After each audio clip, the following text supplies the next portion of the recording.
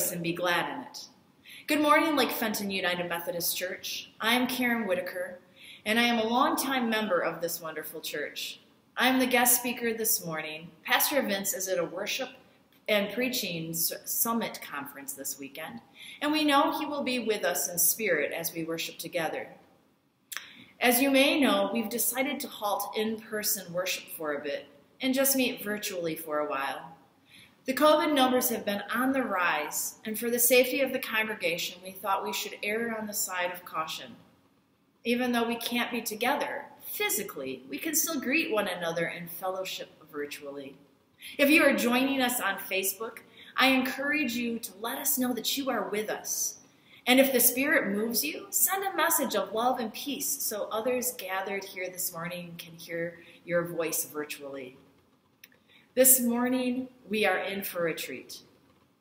As you know, we have some very talented musicians here at the Lake Fenton United Methodist Church, and one of those people is Huey Judson. He has a very talented family as well. A while ago, we heard Addie and Macy, his two granddaughters, sing, and this morning, you are going to get the opportunity to meet some more of his precious grandchildren. These grandchildren have attended our VBS, and we are so glad they've decided to join us this morning. So I introduce to you from left to right, Genevieve, or Gigi for short, Amani, Grandpa, Kingston, James is a behind the scenes kind of guy. He's holding the cue cards. And of course, their wonderful, awesome mother, Julie Joe, is on the camera. Enjoy. This is for Karen. Jesus loves me, this I know, for the Bible tells me so. Little ones to him belong,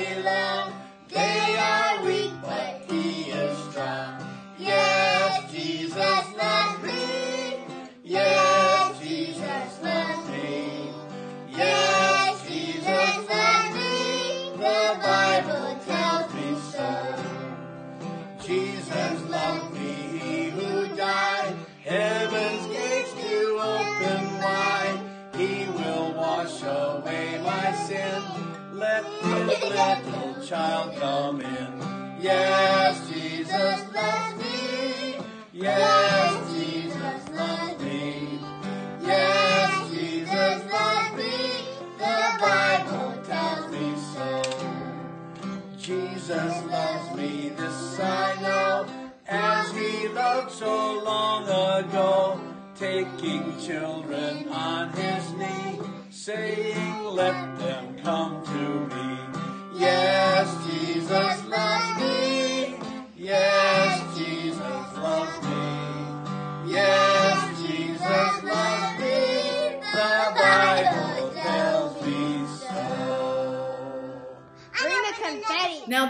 had to put a smile on your face. Jesus does love us. Thank you again, Genevieve, Amani, Kingston, James, Julie Joe, and Huey. So nice that you could visit us this morning and make our service that much more special. I would now invite you to join with me in the reading of the Apostles' Creed. It will be led by Pastor Vince. The words will appear on your screen so you can follow along. I believe in God, the Father Almighty, creator of heaven and earth. I believe in Jesus Christ, his only Son, our Lord, who was conceived by the Holy Spirit, born of the Virgin Mary, suffered under Pontius Pilate, was crucified, died, and was buried. He descended to the dead. On the third day he rose again. He ascended into heaven, is seated at the right hand of the Father, and will come again to judge the living and the dead. I believe in the Holy Spirit, the Holy Catholic Church, the communion of saints, the forgiveness of sins, the resurrection of the body, and the life everlasting. Amen. It saddens me that we will not be passing out popcorn this weekend for the homecoming parade, and we won't be welcoming our trick or treaters for the holy halls of Halloween. Two ways that we regularly reach out to our community have fallen victim to the COVID this year. I don't know how we're going to survive not knowing what Diane is going to dress up like. I'm crossing my fingers that she sends us some pictures. As unfortunate as that is, we still have events that we're looking forward to. Christmas is just around the corner, and each year we participate in Operation Christmas Child. And once again, we'll be collecting shoeboxes full of presents for boys and girls. They will be due on November 15th. We are also hoping to put on our annual Christmas program, even if it tends to be virtual this year. This program is a ministry of song and entertainment that we love to share with our Lake Fenton community. We hope that you will continue to support our outreach and our ministries, even if they look a bit different. At the bottom of your screen, you will see an address for the church where you can continue to mail in your tithes and offerings, as well as a link to our PayPal where you can do- donate online. Well, it's been a little quieter at the Whitaker house this week. My husband and son went on their annual hunting trip into Evart, Mich- Michigan. Yep, we're going to do that one more time. Well, it's been a little quieter at the Whitaker house this week. My husband and son are up north hunting for their annual bow hunting trip in Evart, Michigan, which means the girls got the house to themselves. We've been binge watching some Netflix, eating some chocolate, getting takeout. It's been pretty rough. Of course, we've also been preparing for this morning's service. I couldn't do it without them. Casey came to the church with me today to start my fire and get me all set up here. And Trisha, of course, does all of the editing and, and takes care of all of that. Now, it's not an easy job, but Pastor Vince does it every week. And I mentioned that he was at a conference, which means he's not off the clock. He does an awful lot for this church, and I really appreciate it. I don't know how he does it. He doesn't have a tech person or a person to start his fire, and yet he provides it for us every week. So let's keep him in our prayers this week. Let's also take a moment to raise up any praises or concerns that you might have as we bow our head and go to the Lord. Heavenly Father, we thank you for Pastor Vince, and we pray that you bless him and his family. We are so thankful for his talents and his diligence as he guides us through worship each week. We pray for our nation as we seem to continually become more and more divided. Help us, Lord, to be kind to one another. We also ask you to provide healing to the sick and comfort to those that hurting. We pray for good news on test results and peace as we wait for those answers. We pray for treatments and vaccines so that we might find a way to control the spread of COVID. And though there seems to be so many troubles in our world, help us to see the many gifts that you have given us that provide us with joy and happiness. We thank you, Lord, for, for beautiful fall days full of colorful landscapes and crisp morning air. We thank you for friends that call on us just to say hello and ask how we're doing. And we thank you, Lord, for technology that gives us connection with our friends and our family and our church. We ask all of this in your name as we pray the prayer that you taught us. Our Father, who art in heaven, hallowed be thy name. Thy kingdom come, thy will be done on earth as it is in heaven. Give us this day our daily bread, and forgive us our trespasses as we forgive those who trespass against us. and lead us not into temptation, but deliver us from evil. For thine is the kingdom and the power and the glory forever. Amen. Now, we will join Kamea as she reads the scripture reading for today. This morning's scripture reading comes from Ruth chapter 1, verse 10 through 18. No, they said, we want to go with you to your people. But Naomi replied, Why should you go on with me? Can I still give birth to another son? Or could grow up to be your husband? No, my daughters, return to your parents' homes, for I am too old to marry again. And even if it were possible, and I were to get married tonight and bear sons, then what? Would you wait for them to grow up and refuse to marry someone else? No, of course not, my daughters. Things are far more better, bitter for me than for you, because the Lord Himself has raised His fist against me.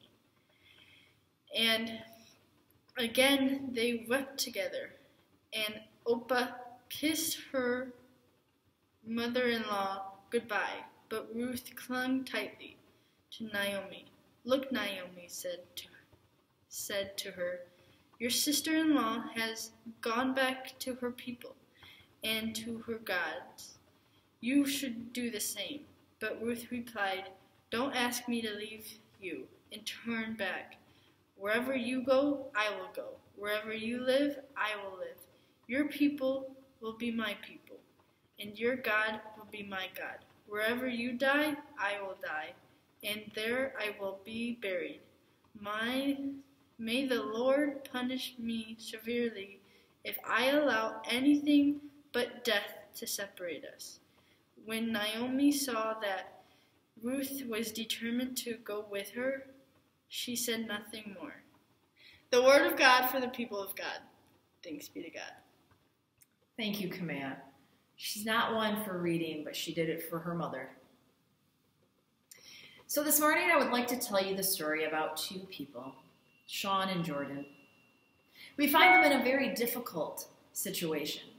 They have been taken prisoner and have been locked in a room with no way out. This is an unusual room. In the middle of the room, there's this large hole that is so deep that you cannot see the bottom. But coming up from the middle of the hole is a small fire that fills the room with warmth. Now, hanging above the fire is a large cast iron pot that has the most tantalizing aroma that floats through the room. Leaning in the corner, there's a pole. It looks to be long enough to probably reach that pot. Now, at the beginning of this situation, Sean and Jordan were pretty hopeful that at some point they would be released. But in the meantime, they took solace in the warmth of the room and the company of one another. Ultimately, their goal was simply to survive. They would talk about their families and the friends that they missed. They shared their joys and their fears with one another as they tried to hold on. For days, the two tried to figure out a way to reach that pot of soup hanging in the middle of the room. But the ominous hole was terrifying to look at, and neither of them wanted to get too close. Sean was sure that the pole was the key. He would hold it in his hand and ponder, tapping that handle on the ground as he thought. Jordan would sit a ways away and watch Sean and sigh mournfully as she wished they could reach that bubbling goodness. One day, Sean stopped tapping the pole and finally did it. He reached the handle out across the hole to the pot. He could no longer bear the hunger. Standing on the edge of the hole, he tried to slip the long pole under the handle of the pot and lift it up. But the pole was too weak and it began to bend. Jordan sighed so loudly that it startled Sean and he almost knocked the pot into the bottomless hole. He shot, shot her a menacing glance and pulled the pole back, and his tapping resumed. Days passed, and hunger was getting the best of them. Sean's tapping seemed to be getting louder, and Jordan's sighing was much more dramatic and more frequent. They would stare at that pot as their stomachs grumbled and turned. Their mouths would salivate as they imagined the deliciousness that was so close but so far away. And then Sean looked up at the pole in his hand. And suddenly he noticed that the end looked different. He flipped it over and examined it a little closer and noticed that he had not seen before that the end looked to have a spoon end on it. Jordan was now on her feet and at John, Sean's side. She scolded him for not seeing it sooner. Sean ignored her and carefully navigated the spoon to the pot. He managed to scoop out a heaping spoonful of soup, but then suddenly realized that no matter how hard he tried, he couldn't put that soup in his mouth due to the length of the handle. Jordan begged, Let me try. But Sean wouldn't give up the spoon. Try after try, Sean would scoop out the soup, but eventually it would spill and fall back into the hole.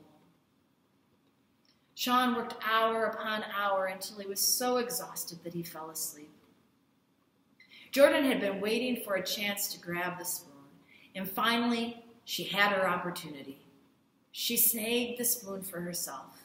She too could get food on the spoon, but couldn't figure out how to feed herself. And like Sean, she would lose the soup down into that deep hole. Every time she dumped the soup, she would sigh mournfully. Her sighs were so loud that they woke Sean from his deep sleep. Would you stop that incessant sighing? he screamed as he yanked the spoon out of her hands. Sean instantly started tapping that spoon on the ground again. I would if you stopped tapping the pole. Tap, tap, tap, tap, tap. You're driving me crazy, Jordan snapped. Well, maybe if you got off your butt and helped me instead of constantly sighing like you were a dying cow, Sean shot back. Well, maybe if you'd stop hogging the pole, Jordan grumbled as she snatched the spoon out of his hands. With that, Sean gave Jordan a push, and Jordan pushed back. And pushing turned into shoving, and shoving turned into hitting, and soon they were rolling on the ground. And then it happened. Somehow, in the middle of the ruckus, the spoon snapped in half. They were both stunned as they looked at that broken spoon. It was way too short to even come close to the pot hanging in the middle of the room now. And then the arguing continued. Sean accused Jordan, and Jordan accused Sean. They called each other names, cursed each other out. There were tears, disappointment, and pain. They argued until they were so hoarse that they could no longer speak. Eventually, they both curled up in a ball and went to sleep. But the smell of the simmering soup woke them once more, and their stomachs still ached with hunger. The pot hung in the middle of the room, seeming to taunt them. They were both sore from the fight the night before. They had bumps and bruises, but they were both still alive. And they sat there staring at the pot. Then, almost simultaneously, they looked to where they had left the broken spoon. And to their amazement, the spoon was no longer broken. It had miraculously been repaired as they slept. Both of them leapt to their feet and ran towards the spoon, but Jordan was just a hair faster and she grabbed that spoon. Sean was too tired to fight, and so he just slumped down to the ground and he began to weep. Jordan looked at the spoon in her hand and looked at Sean, and suddenly she was ashamed of her actions. Her thoughts of feeding herself faded as she had an epiphany. She took the spoon and reached out to the pot and loaded it with hearty soup. Carefully, she removed the spoon and had it cross the hole carefully. Put it up to Sean's mouth. He slowly took a bite, and a smile crossed his face as he slurped the warm nutrients he had so long desired. And then Sean gently took the spoon from Jordan, and he repeated the same procedure and fed Jordan. The two continued to take turns feeding one another until they were both full. It took Jordan's actions of compassion find a solution. In today's Bible reading, we heard the story of Ruth and Naomi. Now, if you remember the story, Naomi, her husband, and two sons were living in Bethlehem. But due to a famine, they were both forced to move to the land of Moab, Israel's ancient enemy. Unfortunately, Naomi's husband dies, but her two sons end up marrying Moabite women, Orpah and Ruth. Tragically, both of Naomi's sons die as well. The women are left alone to try to survive. Now, as we know, in biblical times, women were dependent on the men to provide for them. So Naomi knew that her options were limited, and she decided that she would return to Bethlehem. She loves her daughter in laws, but she has no way to support them. Even if Naomi was to find a new husband, she is way too old to have children. But let's say, for the sake of argument, let's just pretend that Naomi did find a husband and she did have more children. It's absurd to believe that Orpah and Ruth would wait around for those children to grow up so that they could marry them. The whole scenario is ridiculously unrealistic. But Orpah and Ruth begged Naomi. Their love is so great for her that they cannot bear leaving her. But no husbands is just part of the problem. Naomi also knows that they could suffer great discrimination if they were to return to Bethlehem. Moabites and Israelites were sworn enemies, and they would struggle to be accepted. Naomi tells or- Orpah and Ruth that they must stay behind and find new husbands.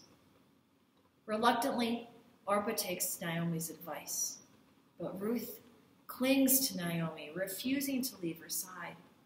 She proclaims, Wherever you go, I will go. Your people will be my people, and your God will become my God.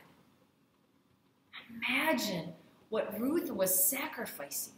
She was leaving her homeland to go somewhere she is probably not wanted. The possibility of her finding a new husband in Bethlehem is about as plausible as Naomi getting pregnant again. They don't know where they're going to stay when they get there or how they'll find food to eat, but none of this changes Ruth's mind. Regardless of the mounting odds against Ruth, she will not back down. Her loyalty to Naomi is just something, isn't something she just professes, but it's an action she takes as she accompanies Naomi back to her homeland. Actions speak louder than words. We have heard this all of our lives, and nothing could be more true. Words are spoken and written and may be persuasive and sincere, but words with no actions are empty and hollow. It's Ruth's loyalty to Naomi that compels Ruth to journey with Naomi to Bethlehem. In fact, Ruth didn't even worship the same God as Naomi until she made her proclamation Your God will become my God. Could you imagine not only leaving your homeland and your way of life, but abandoning your God to follow and worship another God? I discovered that one of the most interesting aspects of the story of Ruth and Naomi is that God is never described as being active or even present throughout the entire book of Ruth. Although God may not be mentioned as the one who orchestrates the series of events, his presence is apparent in the actions of the characters. Ruth's actions of love and compassion portray her as an obedient follower of the Lord. Ruth invites God into her life, and it is this action that makes her so memorable. Kids Hope was a ministry our church participated in for a few years a while back. It was unfortunate when it ended, but there were still so many lessons that we can take away from it today. This mission was to send in mentors from our church to spend one hour a week with an elementary student. The mentors could do many different things with their mentee. Pat Mance would always take art projects. Chuck Irwin would take his mentee down to the gym to play basketball. Others would read books, play games. They would listen to them tell about their week, and so often we would help them with their homework. What we weren't allowed to do was talk about God. We were from a church, but we were in the school, so that was not part of the program. Now, of course, God was always present. Each mentor and mentee had a prayer partner that would pray for both of them all week long. But sharing Bible verses or talking about beliefs with our kids was a firm no. You see, the premise was that we wouldn't need to talk about God because our actions would let them see and feel God's love through us. Our actions would represent our loyalty to God and in return lead others to Him. So the mentors would show up every week. They would listen when the child needed them to listen. They would laugh when the child needed laughter. The mentors would be tough if it was needed, but they would play when play was needed. No matter what, that mentor always showed up. It was their actions that invited God into the room. We have Christians have an obligation to shine the light of Jesus Christ. Our choices we make and the way we behave has an impact on how others perceive the church as a whole, how they perceive Christianity, and how they perceive God. As I sat at work last week, a song kept looping in my head. And before I knew it, I was humming it. It wasn't a song that I'd heard on the radio, and, and honestly, I can't remember the last time I heard it, but there it was, rattling around in my head. It was the hymn, They Will Know We Are Christians by Our Love. How ironic, I thought, as I hummed the tune. I'm not sure that our love is apparent at the moment. There is a sense of discourse in the world, and Christians seem to be contributing to the madness just as, as much as anyone else. We cannot go around fighting over long handled spoons. We need to start feeding one another. If we could just emulate the aura of Ruth, we would find ourselves using our actions to demonstrate unconditional love.